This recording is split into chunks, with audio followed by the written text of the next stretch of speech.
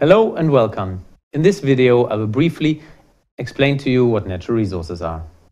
A natural resource is anything that people can use which comes from nature. People do not make natural resources, but gather them from earth. Examples of natural resources are air, wood, coal and oil, water, iron, and forests, to mention just a few. Some of these resources are renewable. These are resources that can be naturally replenished, such as air, water, and timber. While non-renewable resources are resources where the consumption in a certain time interval is exceeding the regeneration in the same time interval. Coal and oil and gas are the most widely known examples for non-renewable resources. These are so-called fossil fuels, and the name says it all. Their origin is prehistoric. The origins of these reserves lie millions of years in the past.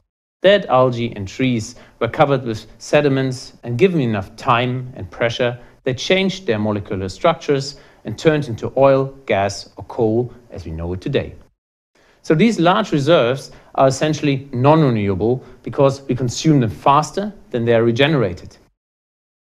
This is why people now look for energy sources that are so-called renewables, including solar power, wind power, biomass, or rapeseed seen here in the yellow flowers. Or palm oil to produce, for instance, biodiesel. These are renewable energy sources because the energy can be produced over and over again. But the example of palm oil and rapeseed highlight a problem with renewables. If a renewable resource is consumed faster than it can be renewed, or if its production is causing other damage, then this resource is no longer renewable or sustainable. So for instance, for palm oil, there's a controversy about the fact that the promotion of palm oil as a renewable energy source is causing deforestation and conversion of agricultural land away from local food production to palm oil production for export. Another example is fish. Fish is a renewable resource because, if managed well, it can be reproduced at the same rate or faster than it is used up. As you can see, 25% of the global fish reserves are overexploited, depleted or recovering from depletion. About 50% is being fully exploited, while only the remainder is moderately exploited or underexploited.